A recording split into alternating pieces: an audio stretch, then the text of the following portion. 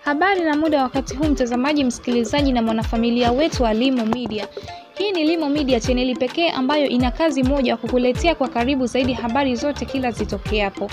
Sasa ili usio unapitwa na habari zetu, ni kukumbushe tu kusubscribe kwa kubonyeza maneno mekundu yaliyopo chini ya video hii. Mi naitwa Dihu. Ebana, bana, siku kadhaa hapo nyuma kuna vipande vya video chafu za mwanadada msanii wa Bongo Movie Menina zilisambaa kwenye mitandao ya kijamii.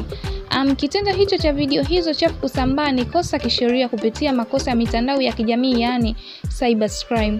Baada ya video hizo kusambaa, tulimwona Menina akifika katika Baraza la Sanaa BASATA kwa ajili ya mahojiano juu ya video hizo za kingono.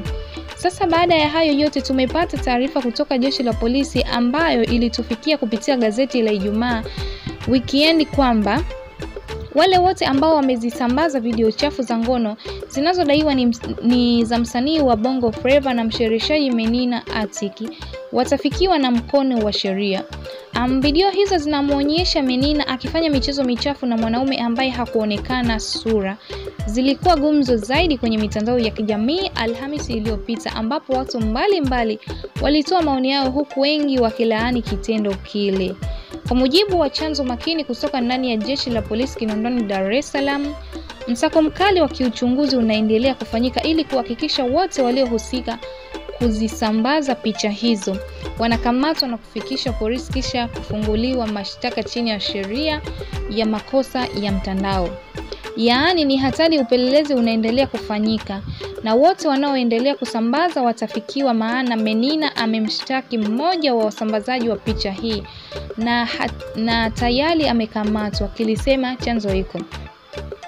Chanzo hiko kilizidi kueleza kuwa watu wote ambao wamezisambaza video hizo wanaweza kufikiwa kirahisi, kwani teknolojia sasa inawezesha wao kujua video hii imet, imet, imetumwa kutoka kwenye kifaa gani na kwenda kwenye kifaa cha nani. Ni rahisi tu sisi kutrack hadi kuupata mtandao wote. Hivi vifaa kama kompyuta, simu, iPad na vinginevyo Kinapokamatwa kifaa kimoja, kuna uwezekano polisi kuweza kutambua imesambazwa kwenda kwenye vifaa gani.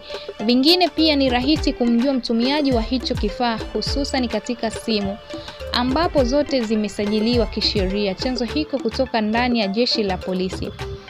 Um, chanzo hicho ambacho pia ni miongoni mwa polisi kilitu, kilitumia nafasi hiyo pia kuwaasa Watanzania kuwa makini katika kipindi hiki ambacho sheria ya makosa ya mtandao inafanya kazi, kwani unaweza ukajikuta kwenye mikono ya sheria bila kujua. Wananchi wawe makini mno, hiki sio kipindi kile cha watu kuona tu vitu na, na kurusha kwa marafiki. Ukiona mtu amekurushia kitu usi, usisambaze kabisa kwa watu wengine. Unaweza kukuta yule aliyekurushia amekamatwa na wewe ukajikuta unakamatwa vile vile, alisema polisi huyo. Mtazamaji wangu, hayo ndiyo yaliyojili juu ya video zile za Menina, na mimi nikaona ni sahihi kabisa kukujuza hili ili uwe unafahamu juu ya jambo hili.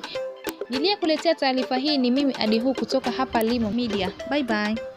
Ili kuwa mwanafamilia bora wa Limo Media, usisahau kusubscribe, kucomment, kulike na kushare.